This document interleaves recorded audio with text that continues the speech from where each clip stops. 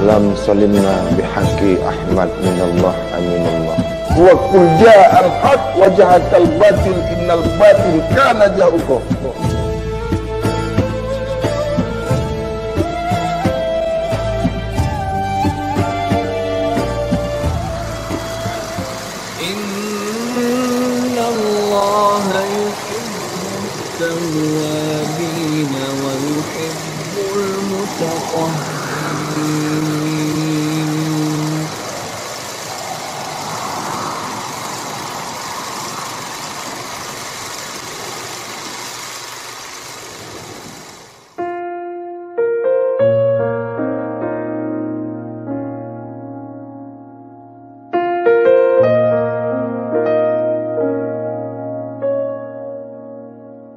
Nabi disayang Tuhan tak?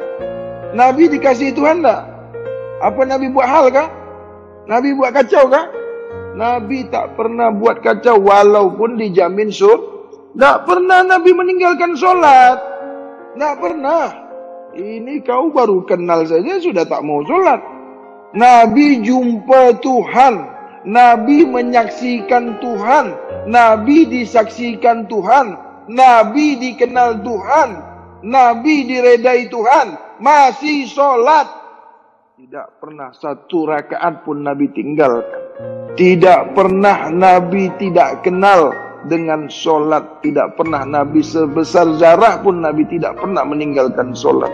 Nabi paham apa itu diri sembahyang. Karena Nabi lah yang menerima perintah sembahyang. Maka ikutilah Nabi khuswatun hasan. Ikutlah cara Nabi sembahyang. Ikutlah cara Nabi solat. Ikutlah cara Nabi berpuasa. Ikutlah cara Nabi berzakat. Ikutlah cara Nabi berha berhaji. Solat itu mesti diawali daripada diri yang suci. Kerana diri sembahyang itu sebenar-benar diri yang suci. Bermulanya puasa itu diawali atas dasar yang suci. Kerana puasa itu di bulan yang su, mestilah suci diri zahir dan diri batin. Akal yang suci, perbuatan yang suci, perkataan yang suci, pandangan yang suci, batin, hati, rasa yang suci. Itulah kau berpuasa. Sentiasa kau menjaga kesucian diri zahir, diri batin. Itu kau berpuasa. Setelah bersih harta kamu dengan mengeluarkan zakat, membersihkan diri kamu dengan berpuasa, menegakkan diri sembahyang pada dirimu dengan solat, maka melaksanakan ibadah di tanah su, mesti kau suci pergi ke tanah suci. Jangan kau pergi ke tanah suci dengan keadaan kau tidak suci. Sia-sia. Tidak dapat rida daripada yang maha suci. Apabila kau melaksanakan haji, kau tidak pernah suci. Itu kau haji palsu, haji penipu, pendusta. Orang yang melaksanakan ibadah ke tanah suci mesti sentiasa su, barulah kau dipanggil haji yang sudah suci. Begitu juga zakat, sucikan harta kamu. Maksud sucikan harta kamu itu mensucikan rezeki yang datang daripada diri yang maha su. Itulah kau mensucikan diri harta kamu itu. Harta kamu itu diri. Diri diri kamu itu harta. Bersihkan diri kamu dengan membayar zakat. Itu mensucikan diri. Dibagi Allah rezeki untuk membersihkan, mensucikan diri kamu. Bukan mengotori diri kamu. Solat itu mensucikan diri kamu. Maka itu makanlah yang bersih. Minumlah yang bersih lagi suci. Pilihlah makanan yang bersih dan suci. Boleh pikiran, otak, hati menjadi suci barulah disaksikan diri zahir, diri batin yang su menjumpai diri yang sebenar-benar diri syirullah diri rahasia yang dulu berpisah dengan dirimu yang dulu memang dipisahkan kau diri zahir, diri batin, diri rahasia kamu itu memang dipisahkan. Carilah kembali diri yang suci itu bagaimana mau mendapatkan diri yang suci itu mensucikan diri zahir ini aku tak akan bosan-bosannya menyampaikan ini. Tidak akan pernah berhenti aku menyampaikan ini. Selagi kau tak dapat, selagi itu aku sampaikan. Habis pun usia ini, tetap ku sampaikan. Karena tidak ada orang yang mau menyampaikan bab kesucian ini. Sedikit sekali orang menyampaikan ilmu kesucian ini karena ditakut-takuti, difitnah, dikeji, dicaci, dimaki, disesat-sesatkan, disalah-salahkan orang yang membawa bab kesucian ini. Karena langka, karena tidak pernah didengar, tidak pernah diketahui. Tidak pernah. Bab apa ini bab suci ini? Tak boleh makan ini, tak boleh makan itu. Apanya yang tak boleh? Kalau kau boleh makan, makan. Apa yang boleh masuk ke perut kau itu makan. Makan saja selagi kau boleh menanggungkannya. Buatlah apa yang boleh kau buat selagi badan kau boleh menanggungnya. Nanti kalau dah tak boleh menanggungnya lagi, ma, ma, kalau dah mati, ke mana perginya itu? Jadi innalillah wa innalillahi ilaihi rajiun itu tak pakailah sudah. Itulah kerana tak pandai memilih makan sehingga ma mati, rosak, sakit. Apa-apa yang kau makan yang tak baik itu menjadi penyakit di badan kamu. Makan yang kotor itu menjadi penyakit. Bau busuk di badan kamu itu. Kalau kau makan yang berbau busuk, menjadi penyakit di tubuh kamu. Itu kerana kebodohan, kerana kejahilan. Tapi sudah dibagi tahu, tak mau tahu juga. Kan sudah ada orang yang bagi tahu. Sudah datang yang bagi tahu, tapi tak mau tahu juga. Alangkah buruknya, alangkah hinanya diri yang tak pandai memilih makan. Sebodoh-bodohnya manusia itu manusia yang tak pandai memilih makanannya. Karena itu yang paling mudah. Yang mudah saja kau tak boleh buat. Apalagi sembahyang. Mana lebih mudah makan atau sembahyang? Makan saja kau tak pandai. Lagi sembahyang. Lagi nak kenal Tuhan pula. Makanan yang baik dengan yang buruk saja kau tak boleh kenal. Apalagi nak kenal Tuhan. Kalau kau pandai memilih makanan yang buruk dengan yang baik, Insya Allah kau pandai mengenal diri. Insya Allah kau pandai mengawal diri. Insya Allah kau berjumpa dengan dirimu sendiri. Tetapi kalau kau tak boleh memilih makan yang buruk dengan yang baik, bagaimana lagi kau mau mengenal dirimu? Mengenal makanan yang baik dengan yang buruk saja kau dah tak boleh. Jauh-jauh sangat nak mengenal diri. Makanan saja kau tak boleh kenal. Tak tahu kau mana makanan yang bagus, mana makanan yang buruk makanan yang merusak dirimu dengan makanan yang boleh memelihara dirimu, kau tak tahu. Nak kenal diri? Tak payahlah. Dah black out dah tu. Dah blacklist dah. Disqualification. Pasal apa? Makan saja kau bodoh. Nak lanjut lagi berilmu. Nak berlanjut lagi mengenal diri. Mengenal makan saja kau tak pandai dah. Itu makanya di bab mutiara ma'rifatullah ini di kajian Nur Mutiara Ma'rifatullah wajib mengenal ma makan, mesti tahu pemakanan, mesti kenal pemakanan, mesti boleh memilih makanan. Baru boleh mengenal di diri. Sesiapa yang nak mengenali dirinya, kenali apa yang dima itu. Bukan susah. Kau tak masuk kualifikasi. Tak masuk. Kalau makan saja kau sudah sudah gagal. Kalah dengan hewan. Hewan tu pandai pilih makan tu. Coba ulat tu kau spray tu daun tu. Mau tak dia makan? Ulat kalau spray dengan pesticide, dia mau makan tak? Kau kan makan semuanya.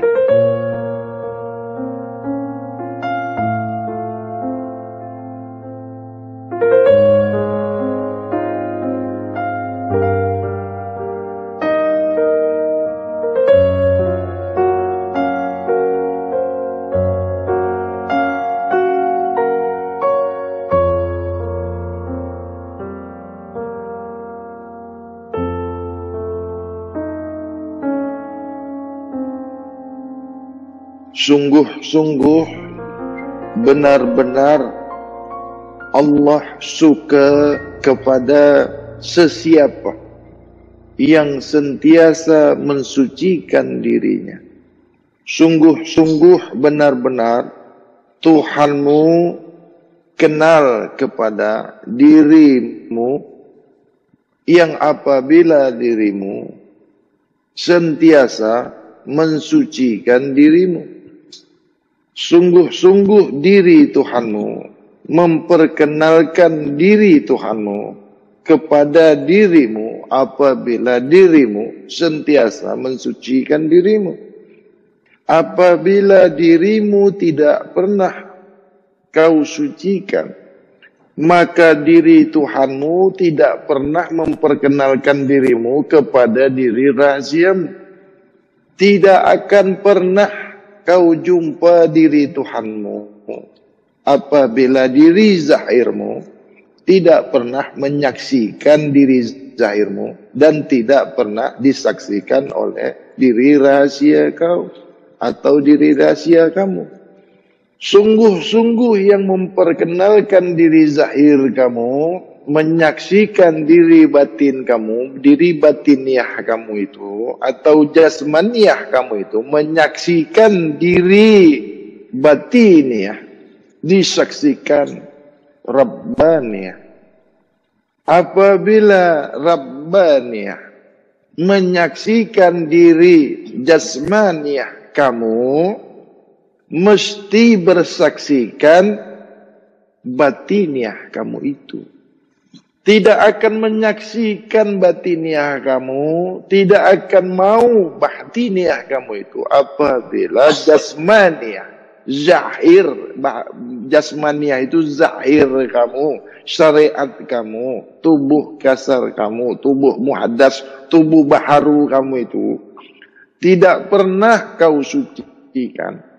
Yang batin kamu itu tidak pernah mau menyaksikan dia tidak mau menjadi saksi untuk jasmaniah kamu itu tubuh jasad kamu itu tubuh kamu yang bernama itu. Dan tidak akan pernah disaksikan oleh diri sebenar-benar diri kamu yaitu diri syirullah. Yang rahasianya asmaku kata Tuhan kau itu. Yang rahasianya afalku kata Tuhan kau itu yang rahasianya sifatku kata diri Tuhanmu. Barulah nyata sebenar-benar nyata zatul bukhdi itu pada diri rahasia kamu. Yang dulu dipisahkan kepada diri zahir kamu itu. Dulu kau dipisahkan. Diri sebenar-benar diri kamu itu dipisahkan. Masa kau beranak masa kau keluar daripada alam rahim itu dipisahkan. Maka tugas hak kamu itu, amanah kepada kamu itu, hendaklah kau mengembalikan amanah yang ada kepada diri kamu itu, yang sudah diamanahkan diri Maha Suci itu kepada diri zahir kamu, hendaklah amanah kembali kepada empunya amanah. Ilmu yang diamanahkan kepada kamu, kulu jasad saudara-saudara kamu itu, kerabat kamu itu, itu mesti kembali lagi kepada empunya amanah. Keluarga kamu itu yang diamanahkan diri Maha Suci itu mesti dikembalikan kembali kepada empunya amanah. Apa amanah yang dibagi kepada engkau pemegang amanah itu? Kau ini pemegang amanah. Tugas yang dibagi diri Maha Suci itu kembalikan lagi amanah itu sebagaimana sedia kala. Yang amanah nih suci kepada dirimu itu. Jadi diri sebenar-benar diri kamu itu amanah diri yang maha suci itulah yang memperkenalkan diri zahir dan diri batin kamu itu kepada empunya diri. Diri syirullah itu, diri sebenar-benar diri kamu itu, dipanggil juga diri rahasia. Itulah yang membawa diri zahir batin kau itu memperkenalkannya kepada diri maha suci. Kau diri zahir, kau diri batin, tidak boleh memperkenalkan dirimu kepada Tuhanmu. Kerana bersempadan, kau tubuh muhaddas, kau tubuh baharu, kau jasad baharu, kau jasad muhaddas. Dipanggilnya Adam, kau tiada daya dan upaya itulah kau tak boleh mengenal diri Tuhanmu. Tak akan boleh. Mengapa? Kau hidup itu dihidupkan, dinyawakan kau itu. Diruhkan. Maksud diruhkan itu. Kau dihidupkan. Kau tak boleh memandang, melihat, menyaksikan kau itu diperlihatkan dilihatkan itu, diperlihatkan. Jadi kau tak pernah melihat. Kau itu tak boleh mendengar. Wahai diri jasad, wahai diri jasmaniah. Atau diri jasmani. Diri jasmani itu diri syariat. Diri nyata yang dinyatakan. Dipanggil diri syariat kenyataan diri zahir itu kenyataannya diri batiniah, diri lahiriah sama itu. Jadi yang nyata di perbuatan zahir itu perbuatan batini. Batiniah itu yang nyata kepada diri zahir. Zahiriah. Zahiriah itu jasmaniah. Mana jasmaniah itu yang nampak, yang nyata. Yang berafal itu zahir yang berafal itu muhaddas. Kenapa dikatakan tubuh jasmani ini berafal? Kerana dia bernama. Tidak akan bernama dia. Ah, berasma, berasma. Nak pakai bahasa Arab juga? Kau nak kucakapkan bahasa Arab? Susah kau paham. Maksud berasma itu bernama. Kau nak pakai bahasa Arab kan nak pakai bahasa Melayu? Nak pakai bahasa Arab? Hah? Asma itu bunyi Arab. Af'al itu bunyi Arab. Bahasa ilmu. Kenapa bernama? Kenapa bernama jasad ni? Kerana beraf'al. Ya, tengok. Pagi ke Arab. Kerana dia ber, berbuat. Kenapa dia bernama? Dia berbuat. Ada geraknya. Tiap-tiap yang bergerak. Tiap-tiap yang zahir tiap-tiap yang ada, zahir itu kan bahasa Melayu juga. Boleh paham lah tu ya. Tiap-tiap yang zahir, tiap-tiap yang yang kelihatan nih, penyata, tiap-tiap yang nyata tu kelihatan. Mesti dia ber, bernama. Mesti bernama. Zahir, nyata, wujud, ada. Pasti bernama. Ada. Pasti bernama. Pasti boleh disebut. Kalau a kalau ada sesuatu yang ada, sesuatu yang ada mesti dia bernama. Pasti bernama. Kerana kelihatan, kerana dia nampak. Paham ini? Ya. Kalau dia nampak nyata pasti jadi apa-apa saja yang kau lihat, apa-apa saja yang nyata, apa-apa, tahu apa-apa tu? Merata-rata kalau nampak dengan biji mata kau, pasti bernama. Kalau dia nampak, itulah sifat.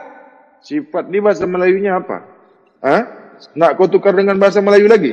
Tak tahu aku. Kalau sifat kau tak paham juga, terkadang ada yang tak tahu sifat ni apa kata dia. Kelakuan yang nyata pada suatu benda. Itu dipanggil sifat. Paham ini? Jadi kalau nama kau ini, kalau nak kalau kau bernama Wahab, pasti ada kenyataan kau itu. Sebab kau sudah berjirim, sudah berbunyi kau, berjirim, berjisim kau, pasti kau nyata. Pastinya nyata senyata-nyatanya kau sudah tiga kepada kau itu. Bernama kau, sudah pasti kau bersifat bernama kamu, dipanggilnya kau, itu kau nyata. Kalau kau sudah terpanggil, sudah tersebut kau, sudah boleh kau disebut, sudah disebut, wahab, itu kau sudah bersifat, dan beraf'al. Nyatalah nama kau itu.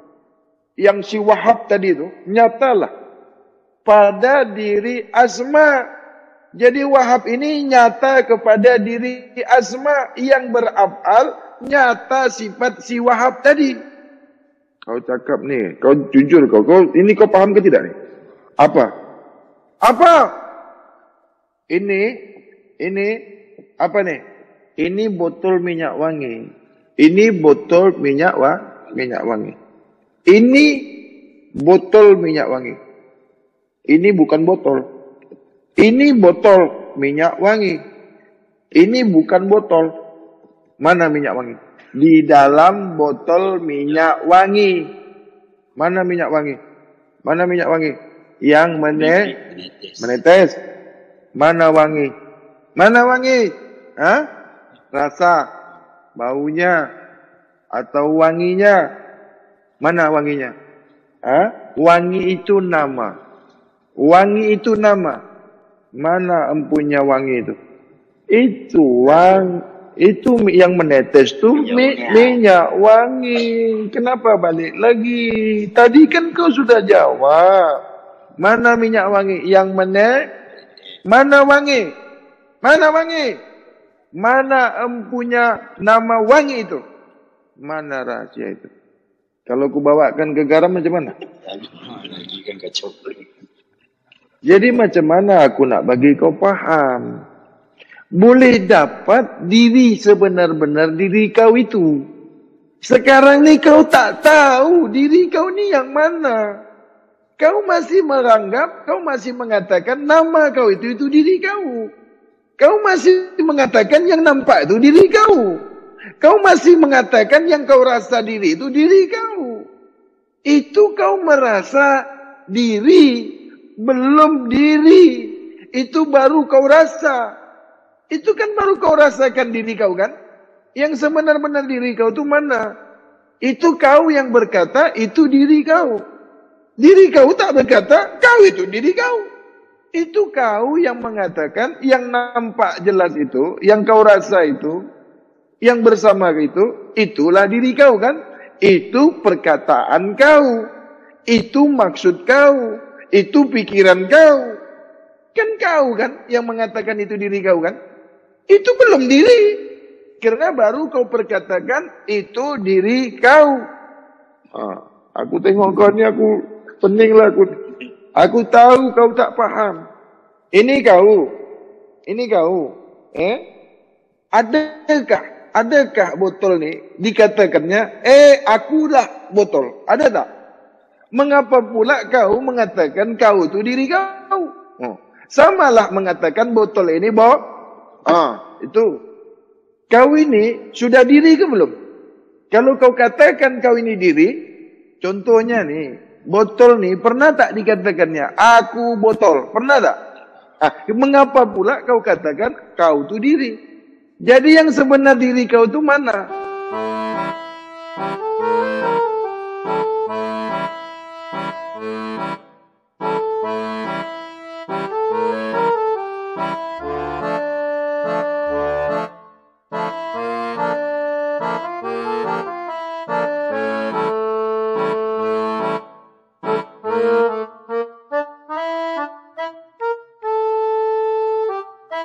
Kita tidak boleh menurut selain Allah, Rasul, Kitabullah, ya, Kitab Al-Quran ataupun Al-Quran. Dasar kita itu jangan menurut orang. Apabila kita mempelajari sesuatu hukum, mempelajari suatu ilmu, target kita huswatun hasanah. Ati Allah wa ati Rasul. Bukan menolak hadis. Tidak. Tapi di atas hadis masih ada Al-Quran. Yang hak itu masih ada. Hadis tidak hak. Hadis bukan yang hak. Yang hak itu. Hakul hak itu. Itu Al-Quran.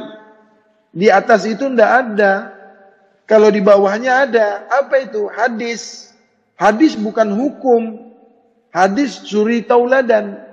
Al-Quran itu hukum. Hadis bukan hukum.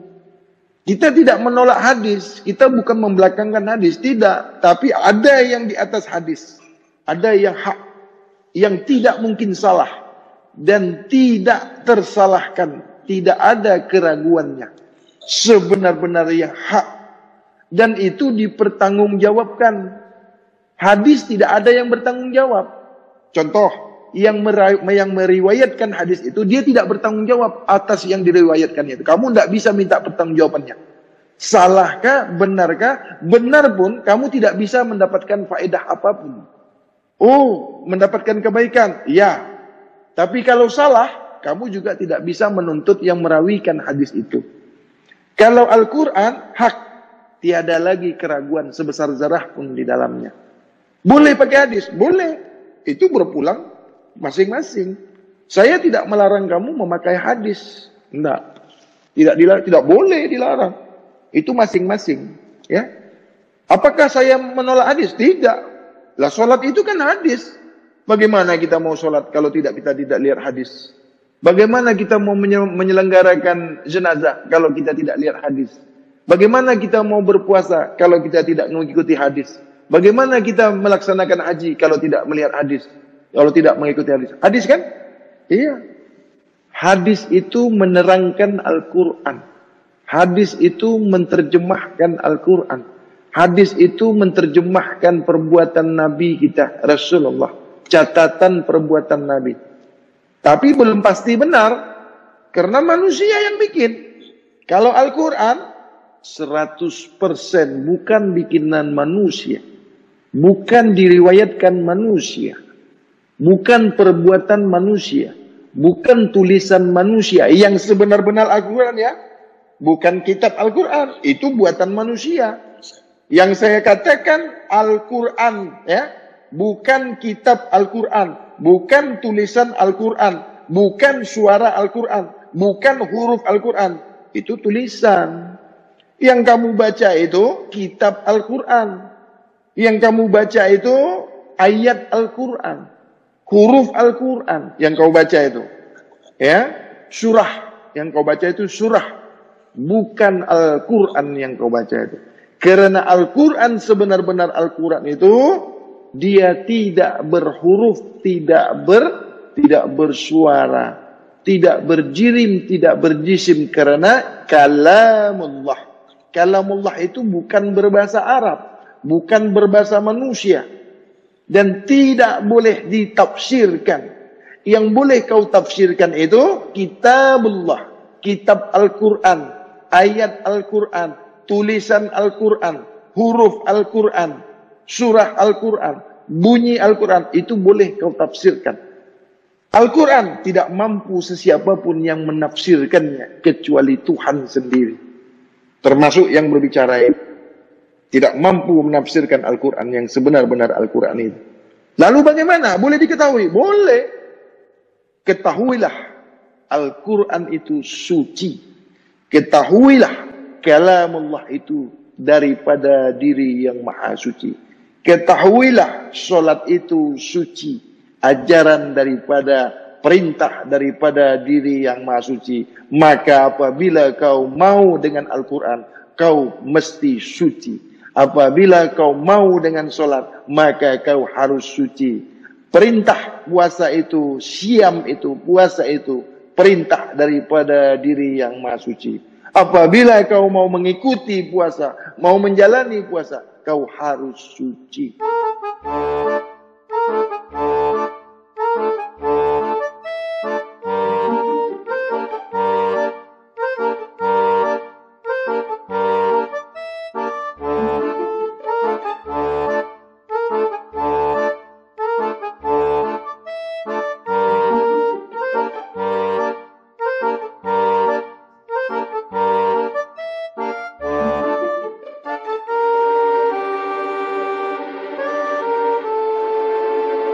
Oh tidak beda. Nah ini silap kamu.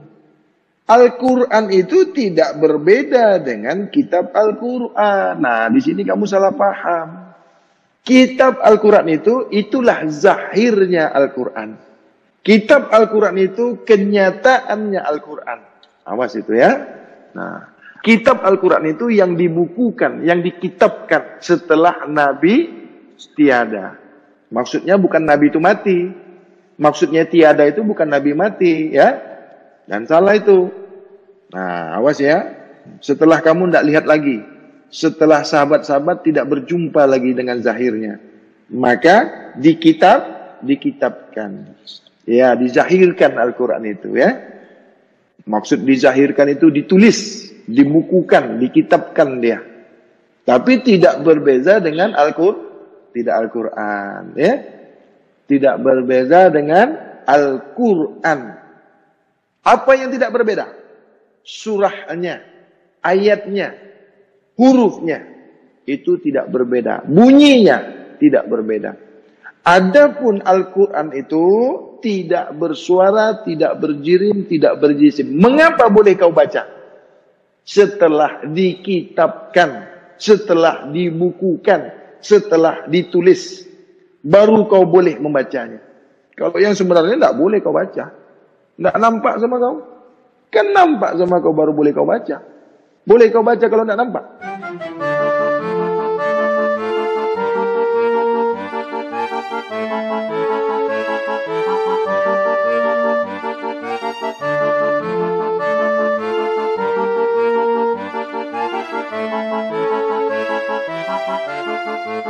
Tapi kalau syirik tidak boleh pak. Jahil tak jahil, bodoh tidak tetap kena.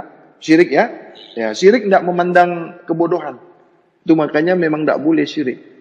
Sebab tidak tidak tidak diampunkan. Membunuh manusia saja pak, itu diampunkan. Mencuri diampunkan itu, dimaafkan. Mencuri, menipu itu diampunkan. Kalau syirik tidak, tidak bisa, tidak ada ampun itu syirik itu. Jangan kau dekati itu, jangan kau coba-coba. Jauhi syirik. Sebab sudah dikatakan, sudah disampaikan. Tak ada ampunnya. Tidak ada kata maaf untuk syirik itu.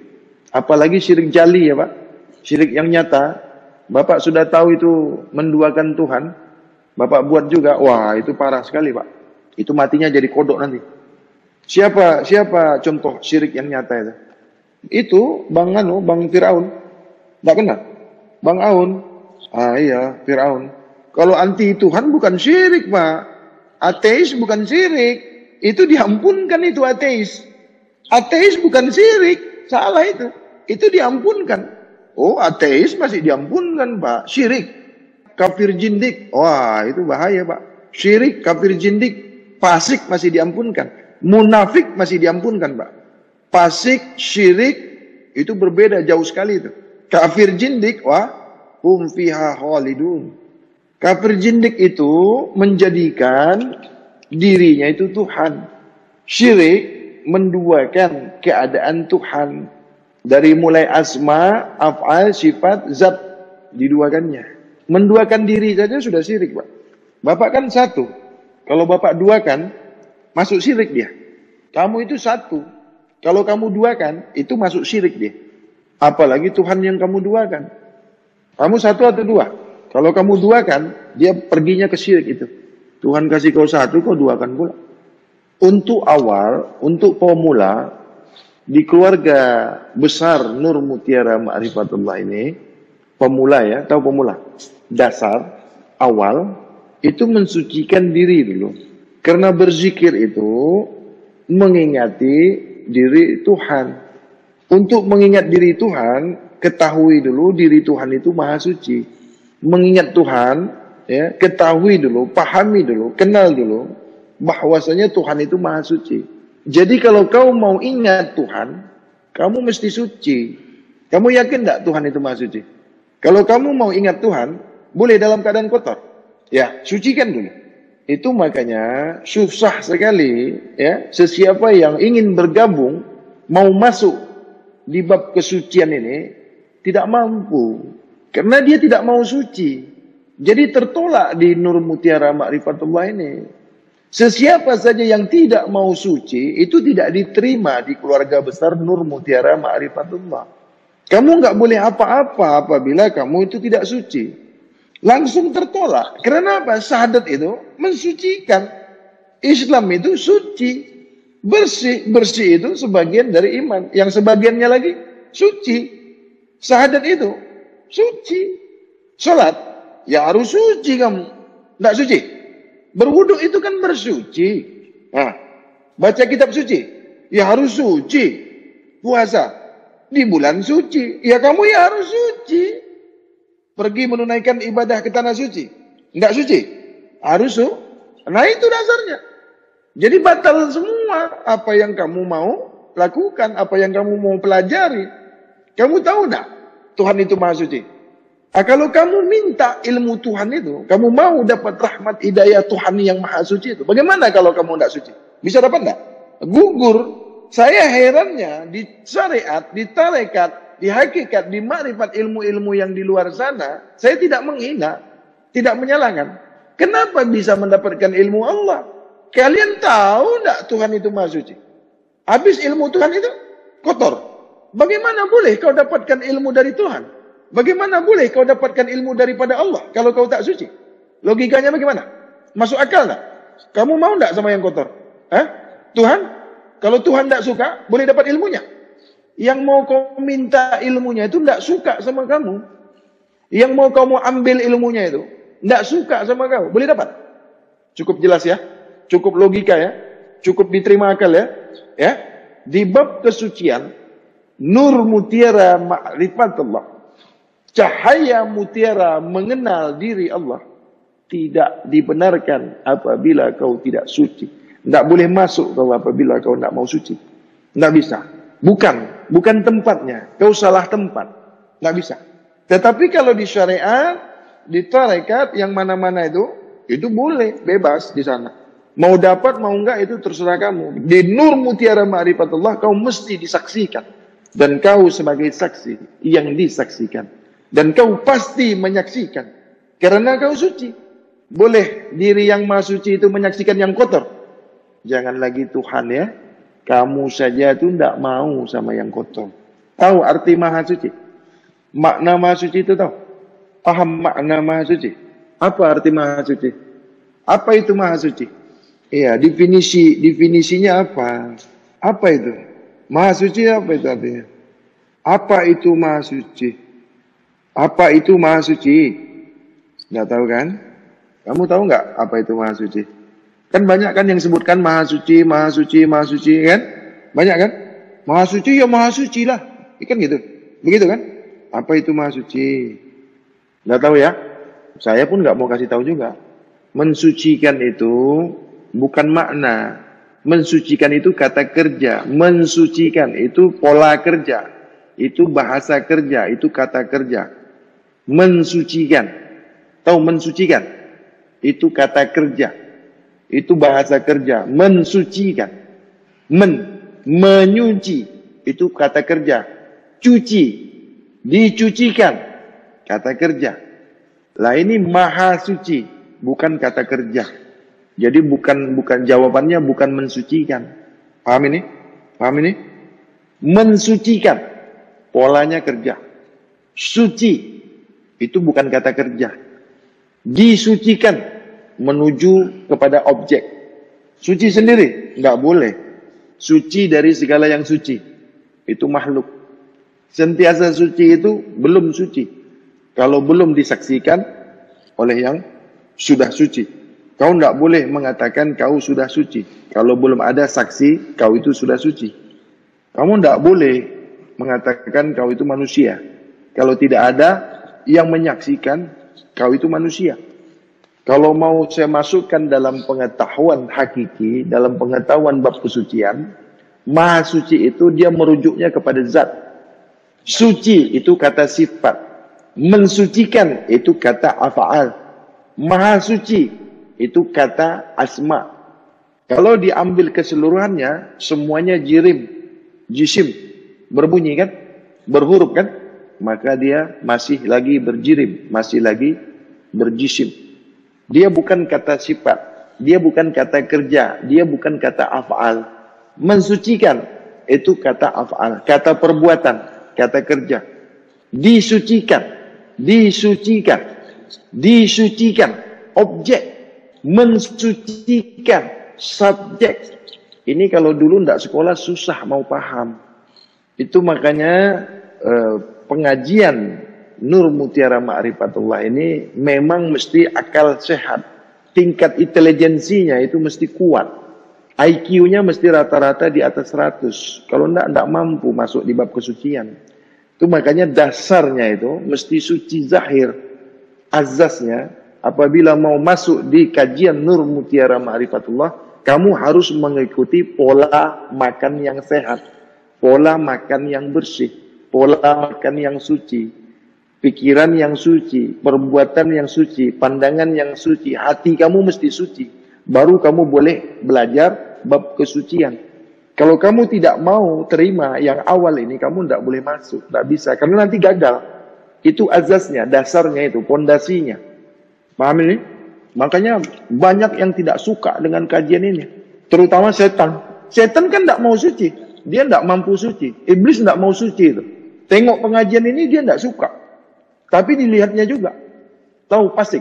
Tidak suka dia. Tapi dilihatnya juga. Kamu paham tidak? Iblis itu tidak pernah mau suci. Jadi kalau ada manusia tidak mau suci, itu bukan manusia. Hanya iblislah yang tidak tunduk, tidak taat kepada diri yang maha suci. Seluruh alam ini tunduk dan taat kepada diri yang maha suci. Kecuali iblis. Jadi kalau ada yang tidak mau suci, itu iblis, setan itu. Dia pura-pura jadi manusia.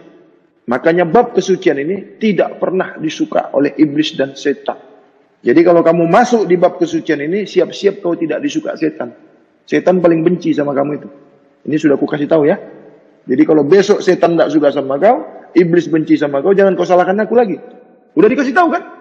Wah saya kenapa begini bang? Terus saya begini. Dulu teman saya suka sama saya. Sekarang saya teman saya, kawan saya, sahabat saya tidak suka.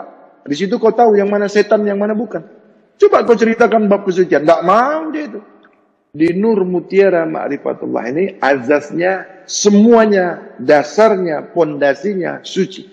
Kamu yakin rezeki itu daripada yang maha suci?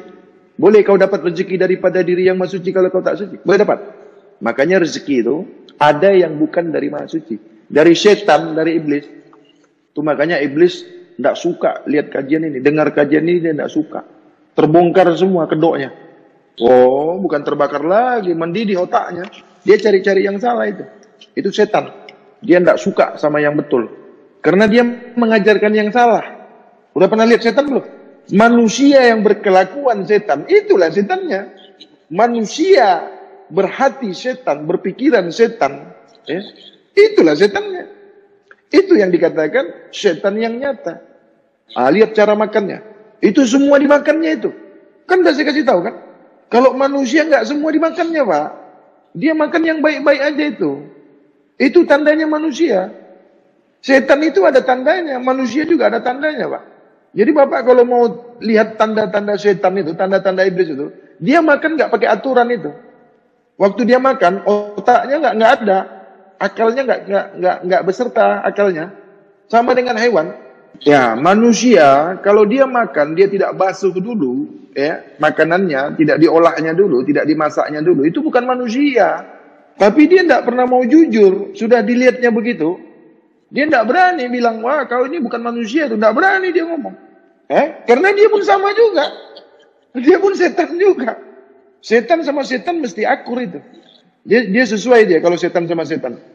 Setan itu tidak sesuai dengan manusia. Karena dia tugas dia itu, ya, kelakuan dia, perbuatan dia itu memang menyesatkan manusia. Yang baik pun disesatkannya juga. Yang baik pun dikatakannya salah. Itu sifat setan, sifat iblis itu. Dia melihat yang baik, dikatakannya salah. Yang salah, dikatakannya benar. Kalau mau tahu tentang setan, bagaimana cara mendeteksinya? Macam mana cara mengetahuinya? Lihat pola makannya.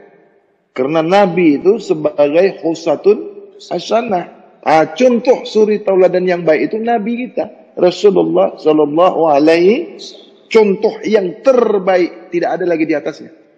Setan karena iblis itu sudah diperintahkan dia tidak mau, tidak taat dia. Apalagi disuruh yang baik. Dia tidak tahu membedakan yang baik sama yang tak baik. Yang buruk sama yang baik itu dia tidak bisa bedakan. Yang hak dengan yang batil itu dia tidak bisa bedakan. Karena dia makan yang kotor.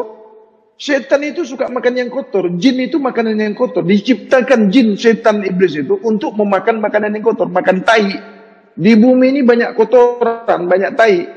Ah, itu makanan dia itu. Jadi kalau ada manusia makan tai, makan kotoran, makan najis, itu bukan manusia. Bentuknya bentuk manusia, rupanya rupa manusia, namanya nama manusia. Sebenarnya bukan manusia, maka tertipulah manusia yang palsu juga yang tertipu. Manusia yang palsu juga, yang tertipu itu yang bukan manusia juga. Yang menipunya pun juga bukan manusia juga itu. Sebenar-benar manusia itu tidak bisa ditipu, tidak bisa binasa. Bagaimana dia dikenal Tuhan? Mampu kau membinasakannya? Mampu kau menipunya? Ya silakan. Oh kena, itu sudah izin Allah. Berarti kau salah. Salah kau, binasa kau. Siapa pun kau. Allah tidak pernah berpihak kepada yang yang batil. Allah tidak pernah suka kepada yang batil. Allah tidak pernah suka dengan yang maksiat. Dengan kekejian Allah tidak pernah suka. Nah apabila kita bicarakan begini, dia tidak suka itu. Kamu kan tidak pernah jumpa guru yang palsu kan? Saya banyak. Bagaimana tahu yang palsu? Karena tahu yang asli. Kenapa kau tidak tahu yang asli? Karena kau yang palsu. Yang palsu yang tidak pernah tahu yang asli lah. Yang asli yang tahu yang palsu. Yang benar kan tahu yang benar. Melihat yang salah itu kan dari yang benar. Bagaimana kau mau salahkan kalau kau tidak tahu yang benar? Apa makanya apabila kau melihat yang salah, maka bantulah dia. Tolong dia, ajarkan dia yang benar. Bukan kau salahkan lagi. Menghancurkan yang batil itu bukan dengan yang batil. Dengan yang hak. Makanya apabila kau dikeji, jangan kau berbalik mengkeji. Sama kau sama dia. Yang jahat itu kan dekat dengan yang jahat. Itu makanya orang yang dalam bab kesucian, yang mengamalkan ilmu kesucian, kau tidak mampu membinasakan. Tidak mampu. Apabila kau keji, maka kekejian itu akan balik lagi kepadamu. Oh dia tidak melawan. Tidak melawan. Berdoa kepada Tuhan pun enggak.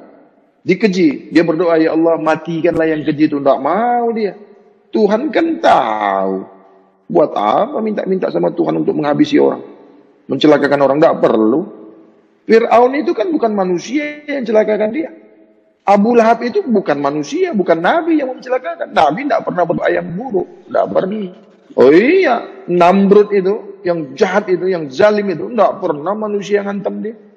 Apabila terjadi suatu kejaliman, apabila terjadi suatu kebinasaan, itu semua atas izin Allah. Manusia ini hanya sebab saja.